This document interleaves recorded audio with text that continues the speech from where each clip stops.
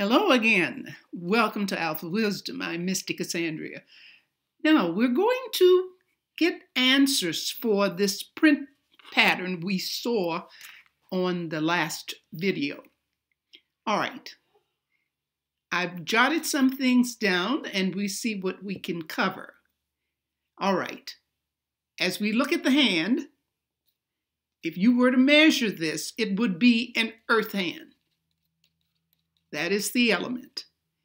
Because this is square, and when we balance it with the in, sorry, the Saturn finger, the middle finger, this is shorter. Even though the fingers may appear long, this is shorter. For example, this measures about four inches, and this measures about four inches. That makes it an earth hand, especially as we check here. This is less. This is a little over three inches. Sometimes the fingers will match the hand palm in the same length. All right, moving on looking at the space between the fingers.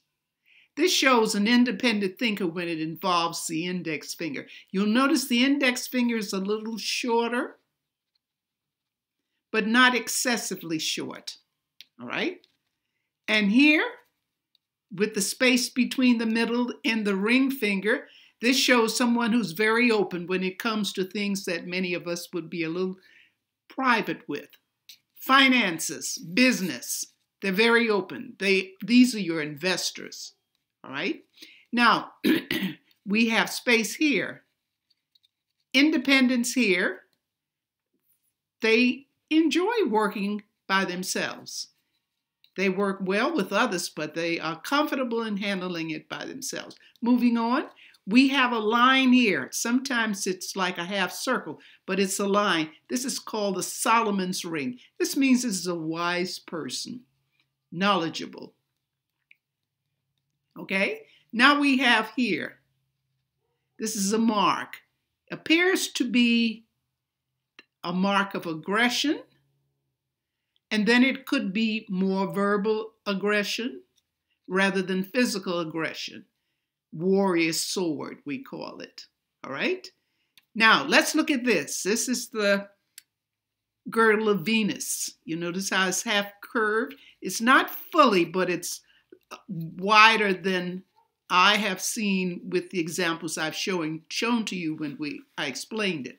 All right, with this one, this means that the person has a craving for excitement. Now, this can get into the extremes that can involve um, enjoyment and sexual interests, all of those things. There are no limits. They just crave excitement. Let's look at this. This is the first time you've seen it.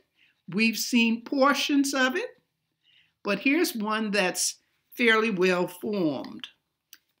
It's always a semicircle on the moon or lunar area. All right? Now, here it is, it's a rare instance to find it broken or sorry, unbroken, unbroken, whenever it appears. So you're not going to see little pieces of it, portions. You'll see the entire line. People that have this line are strong when it comes to intuition.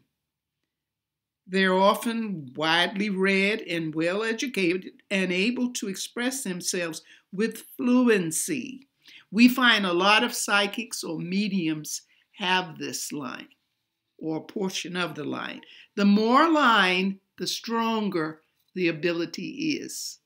All right? Now, another thing is finally, I think we can just say they often find that they instinctively just know things without really understanding why. Okay. Now, let's look at this. You see these little bits, little pieces, section? That's the fate line. The person started it to work here. And look here, there's a line, I, I made a line here.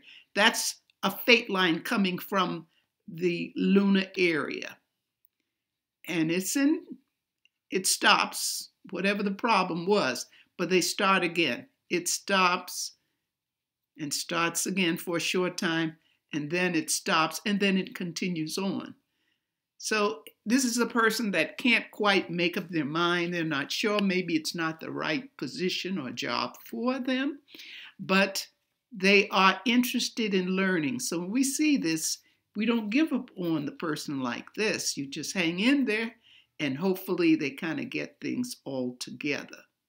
They're more together. All right. So that covers it. You've got a um, little disturbance in the lines, which is normal, the heart line.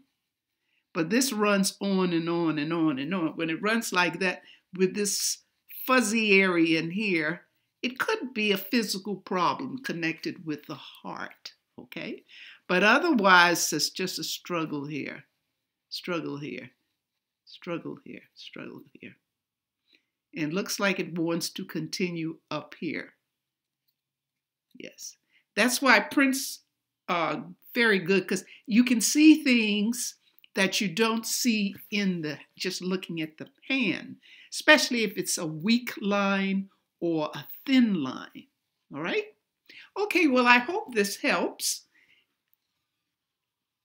If so, give a thumbs up, so share, and subscribe if you haven't. If you have, welcome aboard. Welcome aboard. Well, thanks for watching. Have a great day. Love yourself, and bye bye.